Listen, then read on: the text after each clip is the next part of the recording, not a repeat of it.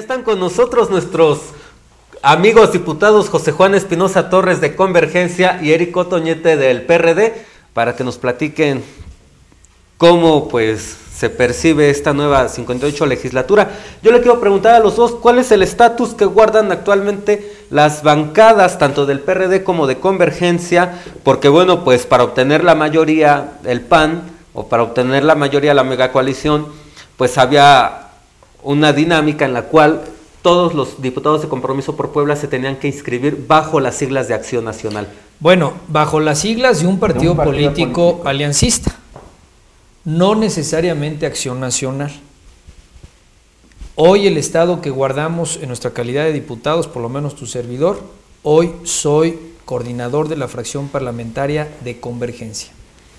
En ningún momento me he inscrito o he presentado documento alguno ante la Secretaría General o la Oficialidad de Partes del Congreso donde esté notificando mi deseo con sustento jurídico y, o político de afiliarme a la fracción parlamentaria del PAN.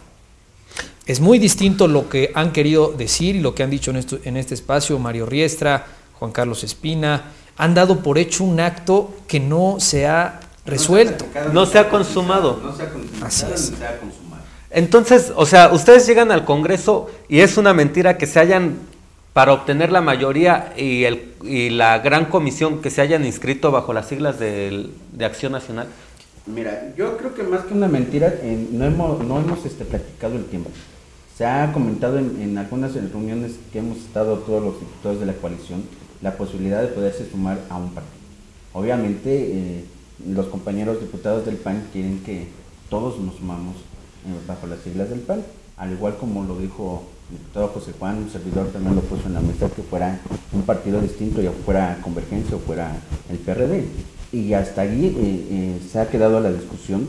Entonces, no se inscribieron bajo las siglas de Acción Nacional. No, se ha consumado el hecho. No, no se ha consumado el hecho. Eh, nosotros estamos esperando que se nos convoque para a- afinar ya eh, los detalles para a, hacer este acuerdo y bajo qué partidos vamos a, Nuestra alianza hoy es con el gobernador, con Rafael Moreno Valle. En nosotros tiene aliados de carne y hueso, no aliados coyunturales, donde en un momento sí y en otro momento no. Somos aliados del doctor Rafael Moreno Valle como gobernador electo. Esa es nuestra alianza, no hay ruptura. Hay quienes van a tratar de aprovechar esta coyuntura para tratar de eh, alejarnos, de, de distanciarnos de lo que tiene que ser una comunicación directa, fluida y permanente con el titular del Ejecutivo. Ahora es a lo que iba. Bueno, primero, ¿qué les parece si terminamos pues este tema sobre si se registran o no bajo, con- bajo las siglas del PAN? Es un hecho que aún no está consumado. Eh, les pueden echar para atrás los priistas esta decisión porque bueno, finalmente se habló de que ya se iban a registrar al inicio de la Y legislatura. no lo hemos hecho. Y bueno, a mí me, me- hoy en la mañana declaró José Luis Márquez que ellos levantan la mano para presidir la gran comisión. Eh, también hay una definición, yo he consultado a mi dirigencia nacional, hemos hecho un análisis jurídico a fondo, he vertido mis posiciones políticas eh, y morales también de lo que, del costo político que pudiera llevar una decisión como esta. La decisión está tomada en el sentido de que no podemos en ningún momento afiliarnos a la fracción parlamentaria del PAN por un acto de congruencia.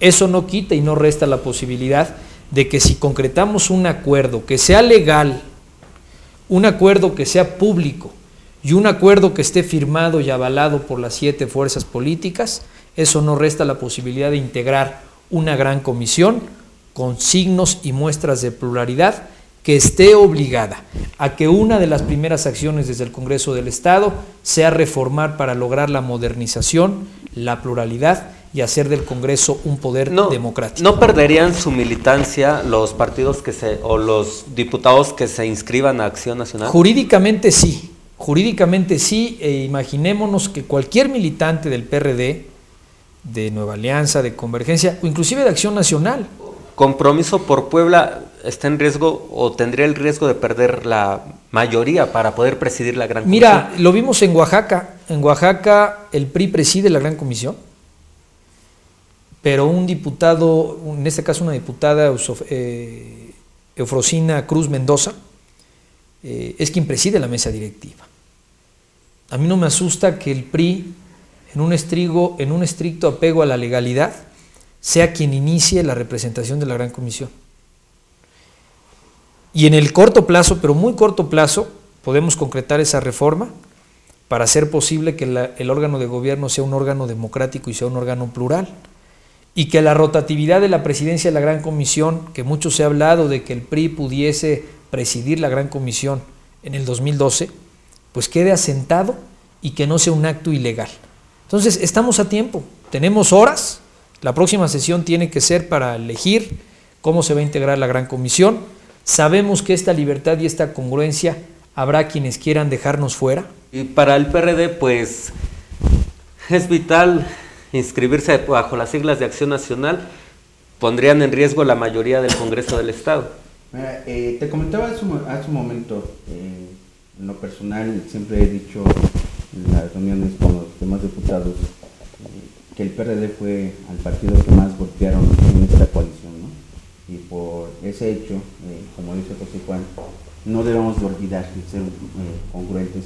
Pero también decía que nuestro estatuto del PRD establece que este tipo de negociaciones los, tendría que, los tiene que llevar a cabo nuestra dirigencia nacional y nuestra dirigencia estatal. Eh, y por ello hemos estado, antes de que terminara el año pasado, en reuniones constantes con, con nuestra dirigencia nacional para ver esta posibilidad de cómo íbamos a, entrar a, la, a, este, a esta fracción parlamentaria. Eh, se quedó en stand-by por las vacaciones y nos están citando la próxima semana nuevamente en, la dirigencia nacional a los tres diputados para terminar de, analizar eh, eh, este planteamiento. ¿no? Y quise decir antes del jueves, esta semana, nos están convocando para que ya definitivamente podamos decir cómo vamos a, entrar. ¿También corre en riesgo, deja en riesgo la militancia de los perredistas? Eh, de eso es lo que vamos, estamos este, platicando con la dirigencia nacional, en las formas jurídicas, como dice José Juan, cómo vamos a, hasta librar, sin caso dado que nuestra dirigencia nacional decida que podamos formar parte de, una, de la fracción del PAN, cómo brindar a, los, a nosotros, los tres diputados del PRD, en esta ocasión. Eh, entiendo yo que hay formas y después de, haber hecho la gran comisión, eh, también estaba, se estaba discutiendo la posibilidad de, de poder hacer una reforma en donde ya existieran las coaliciones dentro del Congreso y poder así respetar todas las, fracciones de cada partido y que cada, y cada diputado tuviera su identidad partidista. Vamos a un corte y regresamos.